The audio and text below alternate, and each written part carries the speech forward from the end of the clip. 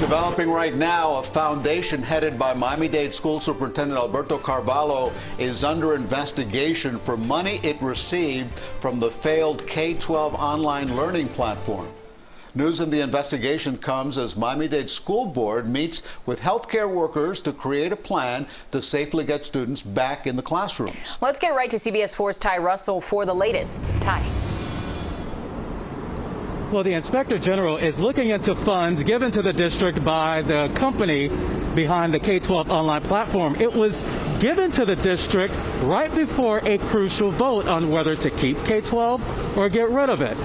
First, we heard from school board members earlier this week that are concerned, and now it's the Inspector General who's looking into this to see if it's legal.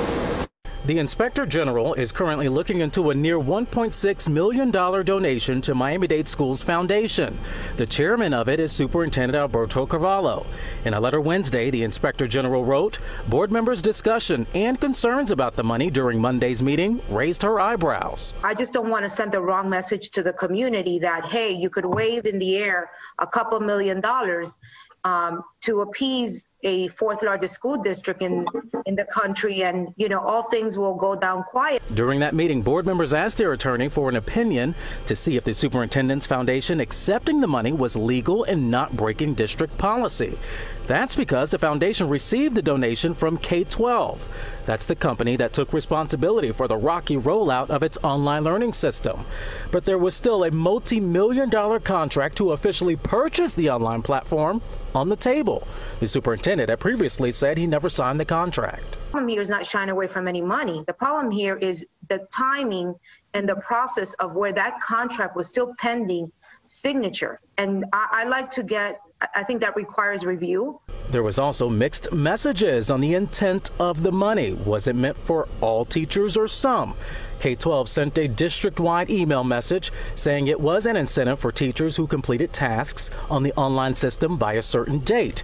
Carvalho said he didn't see it that way. Having been unaware of that language and certainly not reflective of at least my intent and ultimately what uh, the monies that we receive, which is for all teachers. The donation was made to the foundation on September 8th. The following day, board members held a meeting that went into the overnight hours where they got rid of the K 12 platform. But the foundation kept the donation with plans to give a $100 gift card to teachers. In a statement, the foundation's executive director wrote, We welcome the Office of the Inspector General's review of a contribution for the direct and sole benefit of teachers whose hard work and dedication during these trying times could not be ignored. We have complete confidence in the OIG's leadership and objectivity and will fully cooperate in this matter. We should also note that the school board chair serves as the vice chair for the foundation. Now, Monday, she too asked the school board attorney for an opinion on whether this is legal and ethical. Now, I should also note that I reached out to K 12 and still waiting for a response. We are live in downtown Miami. I'm Ty Russell, CBS 4 News.